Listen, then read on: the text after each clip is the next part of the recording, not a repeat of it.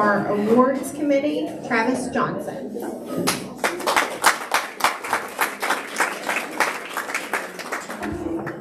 Good afternoon, everybody. Uh, as you can see, I'm kind of taller, so I'm going to make this a little less awkward. Uh, I'm going to echo the prior sentiments that we're glad to have everyone here. It's been a long, actually, I don't think I can do this. It's been a long couple of years, and so uh, we're glad to be able to convene and be together again. The way I'm going to do the awards, I'm going to try to do them in order as best as possible. Uh, we'll start first with the, fir- the First Quarter Excellence Award for this year, and then I'll go through the new business for 2021 and then the Lifetime Achievement Award. Uh, so first off, First Quarter Excellence Award for Simmons Boutique, Miss Tiffany Webster.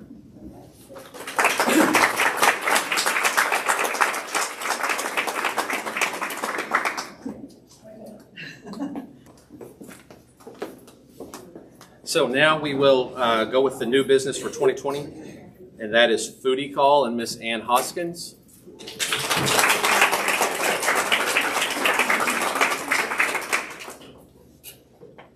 We'd also like to thank her for providing the meal today.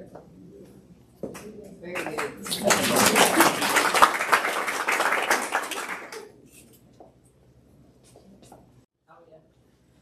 And then um, we will go to the Lifetime Achievement Award for 2020. The way the committee selected this recipient, uh, it's a very detailed process, uh, but essentially it's someone who has provided a lot for the community. Uh, 25 years of service for the 2020 and 2021 uh, recipient. They have provided numerous things for our chamber and for our county. They have uh, shown an outstanding commitment to helping the chamber and to uh, spreading the, the influence of the chamber. So without further ado, 2020's Lifetime Achievement Award winner is Alan Maddox with Five Star Realty.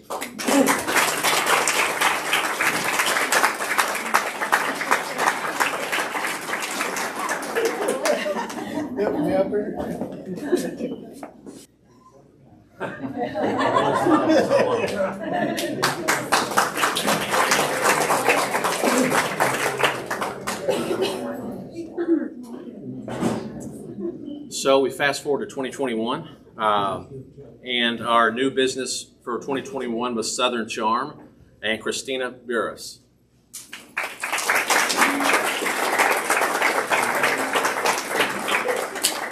It's my daughter too, part owner. Awesome. Congratulations. And then last but certainly not least, our 2021 Lifetime Achievement Award. Uh, again, same, um, same rubric for how we selected. Uh, these individuals have been in business for a long time. Uh, local businesses, obviously, in excess of 25 years. Uh, these individuals have shown an outstanding commitment to furthering the chamber, as well as their, participa- their participation uh, within our community and the chamber. So, without further ado, 2021's recipient uh, of the Lifetime Achievement Award is the Bevil Brothers Funeral Home.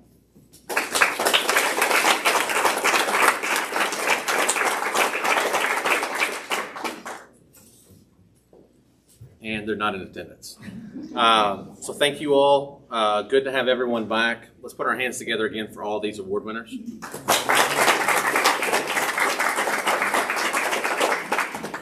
Next, I want to introduce Mr. Josh Coppage. He's going to continue with uh, his portion of today's uh, meeting.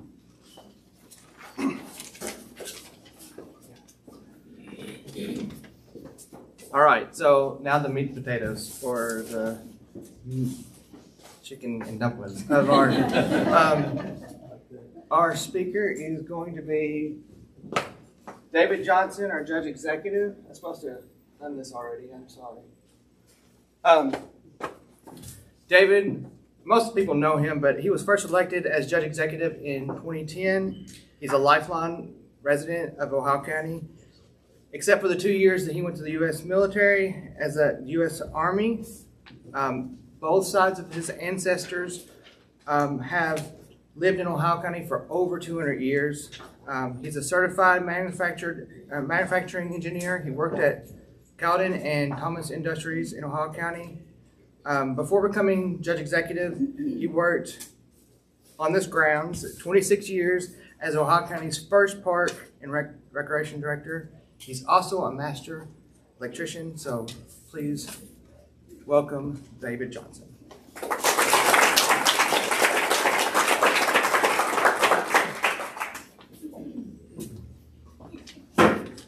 Thank you. This is quite an honor to do this, and this is my twelfth one. Eleven in this makes eleven in person. Of course, last year was on Zoom, but uh, it's quite a quite an honor. Uh, the subject today is the state of our county, and the state of our county is good, really is. Our economy is growing.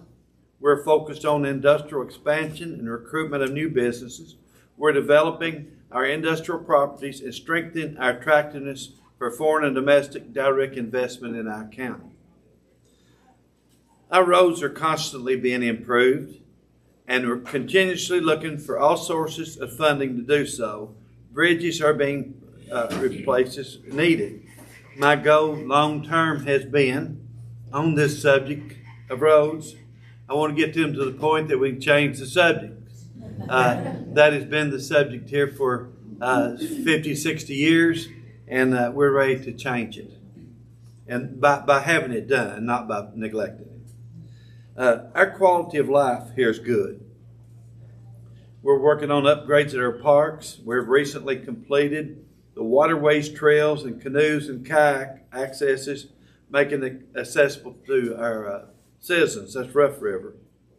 Our golf course had a record year last year, and the conditions are great for it to be a better one this time. Uh, we have a good disc golf course as well, and the trails here on the park are, are being used every day by a lot of people, uh, as well as all the other facilities, and, uh, and we're just really uh, proud of that. We were hit hard by COVID 19, but our services is provided by the county never stopped. Uh, we had many partners in battle with that, including the Ohio County uh, Healthcare, which uh, I still start to say Ohio County Hospital, but I'm little by little I'm getting it right. Uh, but the word hospital is correct on the next thing I want to tell you. Uh, we are right now in the beginning stages of a $23 million expansion at the Ohio County Hospital. Uh, and uh, why I'm, I'm excited about that for a bunch of reasons to have it here. But this is going to put our hospital on a uh, good financial standing with the surgical wings. And then we're going to urge them, CC never heard this before, to, to expand our services that we're not having at this time because the surgical wing will put us on good financial standings. Um, she shook her head. I think she may have heard it before. Yeah. yeah. Uh, you've heard about the American Rescue uh, Plan that the uh, that the federal government passed and passed on down to local governments. They gave us a substantial amount of money, but it also had guidelines with what how you, uh, things you were to do with it and we've used it on those guidelines to help our community uh, as much as possible. One of the things I'm the most proud of is we have a new program we call the Arch program. Uh, it is a uh, it was dreamed up by the myself and the rest of the fiscal court. This we've had this on our mind for a long time. What can we do to stop the revolving door on the jails and the prisons? Um, we we almost uh, set it up for, for failure the, the, way we've done it. But we, we now have this program. We've hired a gentleman to to uh, manage it for us. Jimmy Cantrell's his name. He's done a wonderful job, and uh, it's really going to work. We've already seen it in the short time it's been there. And uh, the thing is to give people the tools they need to succeed, and not have it set up where they're uh, uh, destined to fail, and that includes uh, resources they need to live, as well as if they need treatment, and uh, if they need housing, transportation, or whatever, to, and, and uh, employment, and all these things are helping them get, and it's it's working, it's working great. Uh, Also, with the same fund, we're looking at uh, starting a uh, uh, homeless shelter. We're working on that. It's next fiscal court meeting after it. We're having a community meeting to talk about that more. Um, Another thing, along this same line of talk, as you know, uh, it's a challenge for our county as well as many counties to uh, provide for housing for the uh, incarcerated people. Uh, I'm trying to get away from the word prisoner and inmate, so I'm trying to make it sound better. But uh, we've made a deal with Butler and Edmonson counties called an interlocal agreement. That means we're now out searching for the money to build a, a, uh regional jail that'll house all three counties. It's Butler, Edmonson, and Ohio County. And that's going to save the counties a lot of money if we get this done. And, and I, I believe we will. I'm very optimistic about it. Many things are, are good in our county. Like the rest of the world, inflation is such a challenge. I don't know where it'll stop. But why I'll tell you why it's a little bit more uh, challenging for government than it is for uh, local business. Uh, local business, you have to give your employees a raise. You can raise the price of your product. I mean, you have to to do it. Government, is not that easy to do. Uh, you to, to raise the uh, revenue to offset that inflation. So that's going to be our challenge for the next few years. We've got it figured out for the coming year, but after that, it's, it's just going to be a challenge. We've just got to keep battling how we're going to handle that. And I'm determined that no services will be cut. But like I say, it's going to be quite a challenge to uh, uh, pay what we need to pay to keep our employees on the job. And I think you've got it in private as well. But like I said, you do have that one option that we don't. One of the things, as much as everything else is going good in the county, I'm going to tell you one other challenge we've got. And myself, the magistrates, and our staff have constantly work on trying to uh, uh, improve the internet in the county. We've worked uh, diligently with uh, Kentucky uh, Connect GRADD, which we are a part of. We're, we're a partner in that, our county is. We also Kentucky Wired program, which with state, federal, local governments has spent over 10 billion with a B to try to improve internet. And some of the infrastructure is here. We have a lot of fiber that's uh, on poles and in the ground, but not hooked to anybody yet. So, however that might work, we still we're highly invested in that to be part of it. Our most recent thing that we're doing to try to uh, uh, help with the internet problem in our county is work with our local utility companies that already has uh, a lot of the mechanisms in place to provide it. And we're hoping we can work with those uh, utility companies to provide the middle and the last mile of the fiber internet to everybody's house in the county. That's our that's our goal, and uh, I'm optimistic that it can work. Even though, like I said, I started working on this day one in office, but it, it's still something we're working on every day. It's quite a challenge, but I'm quite optimistic that within uh, a year or so, we're going to be much better place on the internet than we are now. Uh, on tourism, we're so happy with uh, Beaver Dam's success at the amphitheater. That is really provided for Ohio County tourism, and uh, I so I so appreciate the efforts of uh, Paul and the and the city commission over there to uh, uh, think about this and to make it work, and to found the tool to fund it and, and everything, and I'm just really proud of it. And uh, I do want to remind y'all one more time that Beaver Dam is in Ohio County. Uh, there's an inside joke there with Paul and I. Uh, and we're also on tourism. We're happy with the success of the bluegrass uh, music in our county.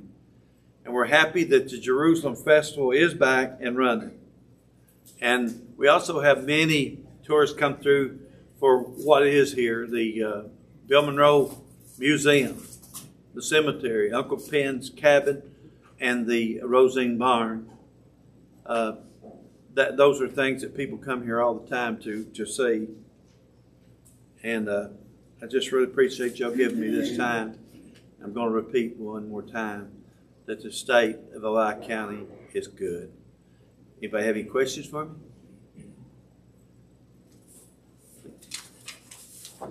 Thank you.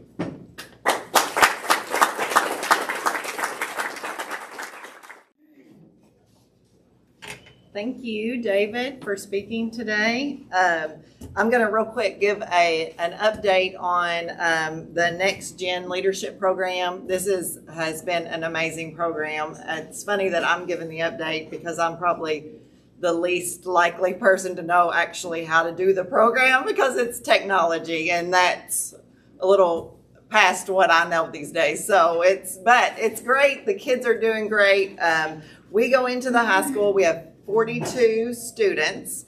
So we have juniors and seniors at the high school, um, and they are doing, it's called a JA Titan program. And what that is, is um, basically they, they're in teams of three or four students. We've had guest speakers. Tiffany has come and spoke for us, and um, David Moore is coming tomorrow. He's going to speak. But they play this game, and they basically are owning their own company. They're the CEO of their own company, uh, telephones, right? Yes. Telephone business. Okay. And um, so what what has been really cool is March 30th they're going to have their competition, and um, there's a scholarship involved. So if anybody would like to donate that, we are still taking donations for that scholarship. We would greatly appreciate that. We're up to $1,500. So three or four students will be splitting that money um, and however much else comes in, we could even do first prize, second prize, that kind of thing. So um, also in April, um, we will be going on um, several field trips that we're excited about. So what we're doing right now is every other Wednesday, we go into the high school and we meet with these students um, in the lunchroom and, and we we'll have our guest speaker or we'll have our lesson that we do on owning a business. And then they play the game of owning their own business. And that game will throw things at them. So I'm glad you're shaking your head like, yeah, you got that right. That game will throw things at them. Um, real, real world experience, though, that we deal with every day owning our own business, you know, COVID, those kind of things. So, so things you don't expect to happen. And and then their um, profit loss will go up and down and they have to and it's really neat it's to uh, when we started this program and chase i'm going to talk about him because he's not here when he first presented it it was like deer in the headlight look for everybody and but now they're cheering you can hear them they're you know like look where we're at and so it's fun to watch it's gone great i think it'll be even better next year this is this was a can we do it, can we not do it kind of year. And we, we were able, we finally got to go into the school and do it. We appreciate the high school for letting us come in. Um, so anyway, our field trips that we're going to do is going to be uh, Sicilian Bank. We're going to go um, do finance with them one day, um, the community center and the courthouse. So all the kids are going to get to do that. And then we have an all-day field trip. All of these will take place in April. The, and we're going to tour the National Office Furniture, Bill Monroe Home Place, and then we're coming here to the airport, and the kids are going to get to go fly, if weather permitting. So it's super cool program. They're very excited. They're learning a lot. Um, I have a daughter in college who wishes she had done this program. She keeps my other daughter is actually in the program, and she keeps telling her, "Pay attention, pay attention. This stuff matters." So it's it's really neat. If you guys want to know more about it, just come see me or Josh and Sarah, whoever, you know, we can, we can talk to you about it. Yes, yes, you could come sit in tomorrow. Tomorrow will be David Moore's going to speak, and then um, they're going to be. We've got three different games set up for them to play with their team, and then in two weeks they actually do the competition. So, um, and then again, we we plan on doing this every year. So, yeah, okay. Well, thank you.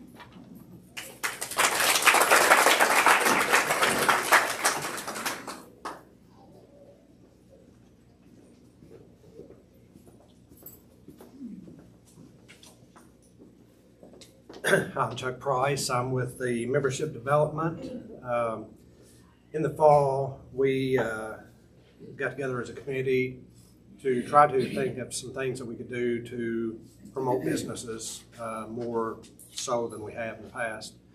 So what we came up with is our business in the spotlight. Some of you may have seen it in the newsletters. Um, and what that is, so we're, we're taking our entire membership roster and we're starting starting at A and going through uh, through the roster. And so the business will be promoted both on our website and in our newsletter on social media uh, and whatnot. Uh, about two weeks before your business uh, is included or is, is uh, put in the newsletter, uh, Judy will send a email uh, questionnaire. Uh, the questionnaire is basically uh, company information, address, and then there is a segment where you can promote yourself. Uh, anything that you think that the community needs to know or that you want them to know, that's your that's your spot to brag on yourself. And then at the beginning of the month, Judy will put it in the newsletter and on social media. And we hope that this will, you know, not only promote Charles businesses for other chamber members, but the community as well. As well. And you know, we talk a lot about uh, shop local, and we hope that this will, will help with that. Uh, so, thank you.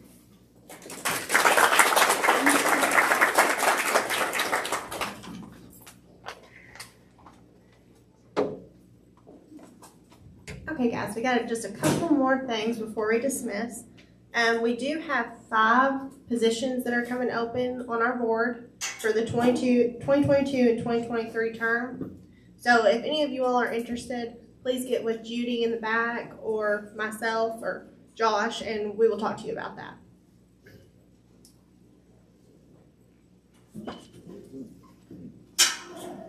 Then Josh is going to speak again.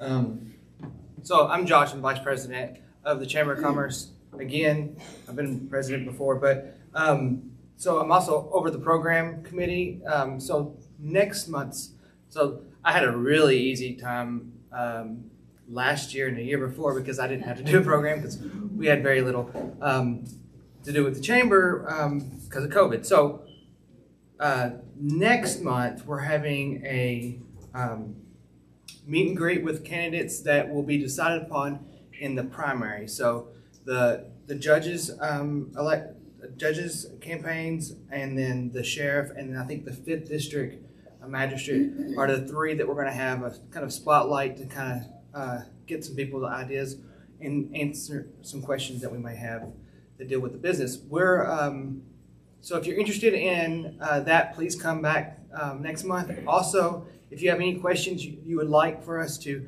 ask them that has something to do with the business, um, and for each of those um, positions that are going that are being uh, uh, being campaigned for, please let us know. We'll be more than happy to add those um, to the list of things. So that's all I have for the program. Yes, and as Josh said, that meeting is going to be on April 19th, and it'll be at 11:30 here. And then GRADD COVID-19 working capital funds expire soon. Applications will be taken until May 1st or until the funds are depleted. There are some applications on the table in the back by the door. And then last, we have our door prize drawing. And this drawing is for two tickets to Marcy Lynn at the Beaver Dam Amphitheater. So thank you Beaver Dam Tourism for those. So get your tickets ready.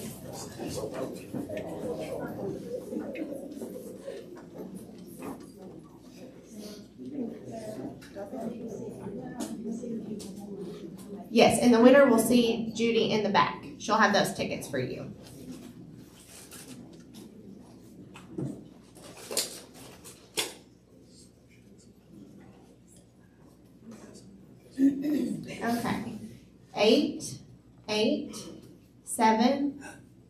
Two, six, three.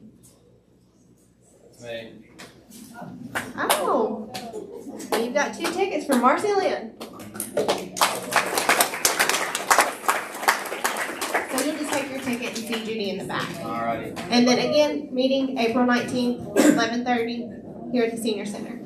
Yes, I am the business service consultant for the Career Center. We are having an Ohio County Job Fair on March twenty-fifth from ten to two at Beaver Dam City Hall. So if you are an employer and you need or want to attend that, let me know so I can make sure we reserve a table for you, okay?